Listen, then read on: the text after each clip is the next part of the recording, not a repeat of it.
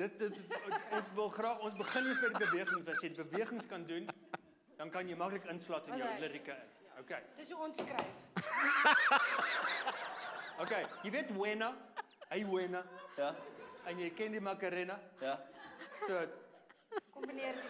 Cross pollinate. ja, Okay.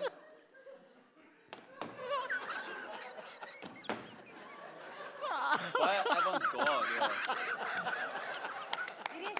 Pas, né? Nee. Ek weet nie dit reg is vir my mark nie.